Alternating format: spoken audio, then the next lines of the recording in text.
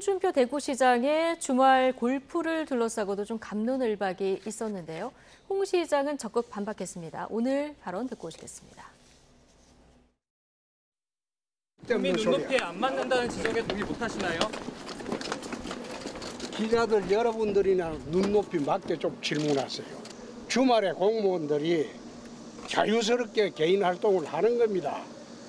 대구시의 상황 자체가 없습니다. 그만두고 난 뒤에 집에 와가지고 있을 때 팔거천 그 사고를 갖다가 내 보고를 받은 거예요. 괜히 그 쓸데없이 터집 하나 잡았다고 그래 벌떼처럼 덤빈다가 그런다고 해서 내가 무슨 거기 기죽고 잘못했다 그럴 사람입니까? 난 그런 처신한 일이 없어요.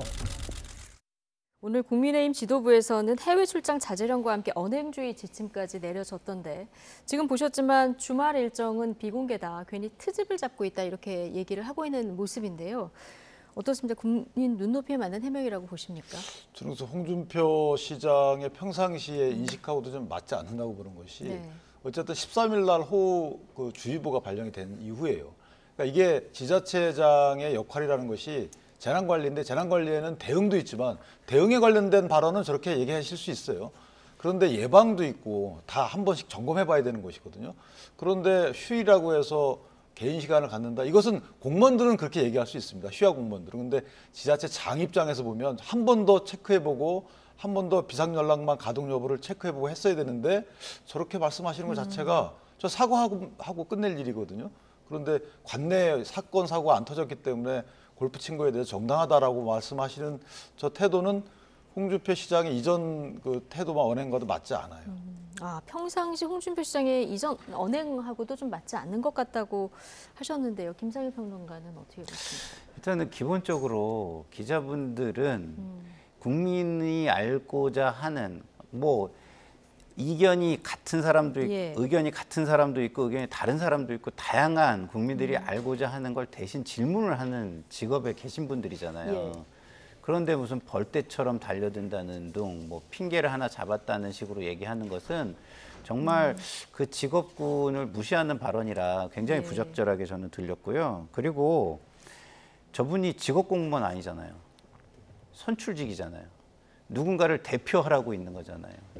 국민을 대표하라고 있는 거예요. 그러면 다양한 국민을 다양하게 대표해야 돼요. 예. 그리고 다양한 상황을 대표해야 됩니다.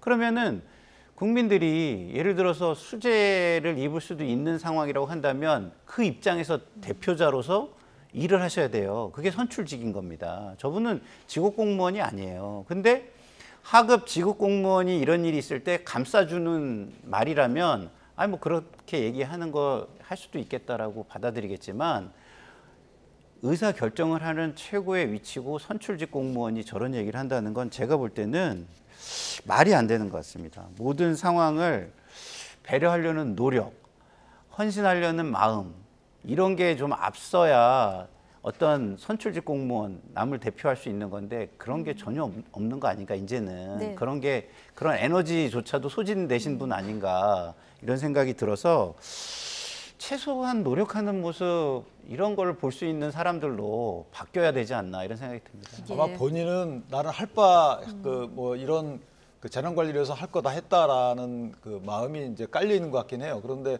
어쨌든 재난 관리를 위해서 할 바를 다 했다라고 자신을 갖는 것 자체는 있을 수 없는 일이거든요. 그것은 왜냐하면 예방에는 한계가 없고 예방에는 뭐 다함이 없잖아요. 그렇기 때문에 홍준표 시장께서 이번 발언은 조금 어, 이해하기 어렵다 이렇게 생각합니다. 네.